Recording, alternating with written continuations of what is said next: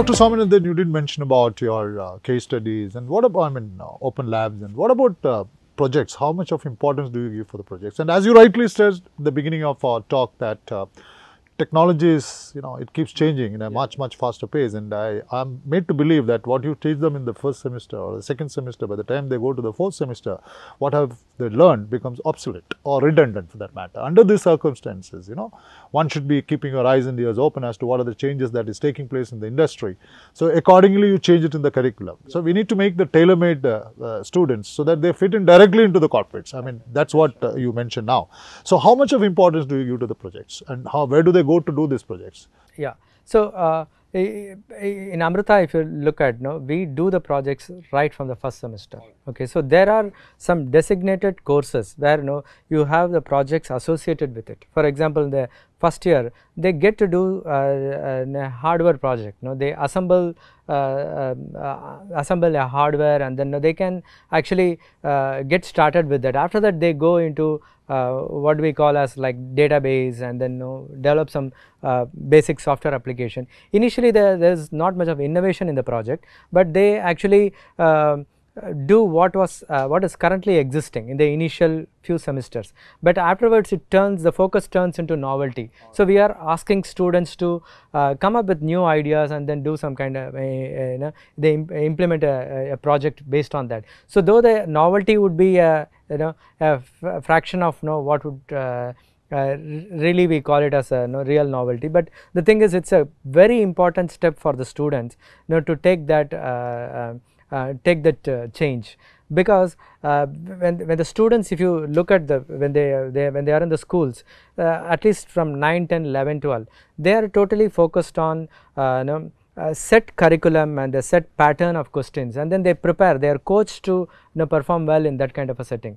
But when it comes to uh, uh, you know uh, job they are expected to apply analyze think troubleshoot no it's a, there are a lot of you know uh, thinking skills uh, or what do you call it as a th- thinking on your own thinking on your feet. No we call uh, in various terms critical thinking. These are all very important. Thinking out of box. yeah out of the box. Yeah right. So th- this plays a major role you know when you go to the job. So that that's what makes you job ready. So naturally you know um, the this college life the engineering is what you know is the fundamental thing for them to make the jump from this. So they have to unlearn a little bit and then they have to get re, get retuned and then go into uh, So unlearn to unlearn, then relearn. I mean, that's that's one of the philosophies that uh, most of us use. Now, coming to your clubs, I mean, I have heard that uh, computer science engineering, Department of Computer Science Engineering, as far as uh, ASC Amritapuri is concerned, I think you have plenty of clubs which you run, which means it's not just uh, you know studying from the books and doing some projects. So it's beyond looking uh, uh, beyond looking from curriculum to different activities in clubs. So before I get into the club, you have something you have been associated uh, too close with uh, something called ICPC, International Colleges Programming Contest, and uh, I believe uh, you know you have brought in a lot of students, not only from Amrita across the country, to participate in this. Just a brief talk on ICPC. Yeah, right. Okay. So uh, in ICPC, I, you, if you uh, look at it, it's, it's considered as like a Olympiad of programming contest. Okay. So where students are given a lot of challenges, no challenging problems, they have to come up with uh, devise a solution and then they have to uh, you know program it and then get it accepted. So there is a online judge, you know, where they have to submit it and then it has to get accepted. Unless your solution perfectly fits the requirement, it's not going to accept. So even if there is one test case which fails, then it won't be accepted. So and there are penalties for uh, really uh, you know, getting it wrong and all that. So a lot of thinking and practice is required. So what we do is we we take uh, students who are like you know pretty good at math and which who exhibit lot of energy. Okay, and uh, we pick them we, we, we watch them over a period of time we give them little bit of a training and then we watch them over a period of time how they can uh, do they have that persistence or perseverance to actually um, uh, go through uh, this uh, rigorous challenges okay?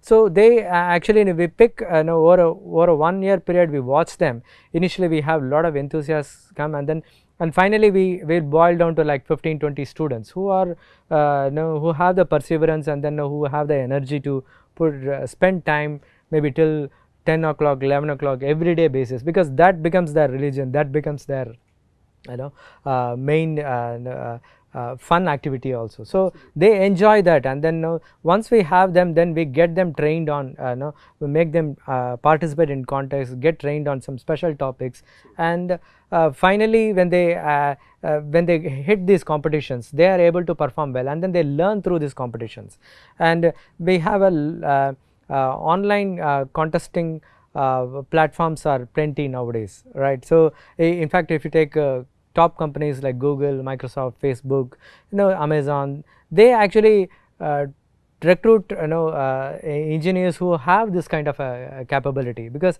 they should always be thinking about you know, tougher and tougher problems. They should have reached a certain level. So such people, you don't have to tell them no what uh, what they need to do. If you tell them, give them an indication, they can actually you know um, uh, develop uh, things. So, they do not need to be handheld. FOSS Club I would start with that because that has been we, we, it has been in existence from 2008 and uh, it is a flourishing club and I think many uh, students who have come here they have literally told they chose the Amritapuri campus uh, know, only because of the FOSS Club. Okay. So, that is the amount of attention it has uh, brought to various people.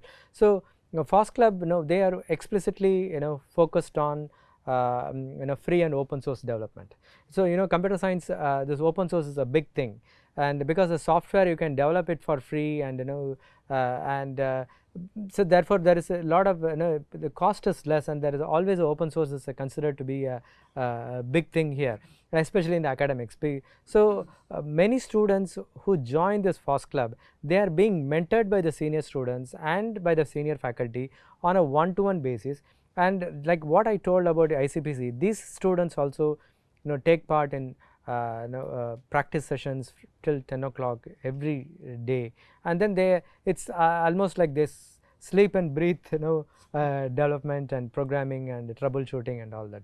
So, uh, and these are the skills that you won't get in uh, you know, in classes right because you are applying yourself. So, when you apply yourself naturally you tend to learn more. So, and that is one of the club which has been flourishing. Then I would like to talk about BIOS. Uh, BIOS, uh, uh, we, we have had competitions like uh, the CTF Capture the Flag co- competitions and uh, InCTF which is the India version of uh, you know, uh, the same contest and our students have done very well. They have been at the top for quite some time Great. now and they also set problems for these uh, competitions also. So, uh, they get uh, ample opportunities to mentor, to you know create uh, you know competitions and therefore, they grow uh, in multifaceted ways. So, and uh, the, the FOSS club know you can see that every year know, we have at least a dozen students getting in uh, know this uh, GSOC internships and then they are able to complete it with uh, know and uh, of late we have seen that know the first year students have cracked into it and then they are able to complete it. So, that shows the maturity of the club.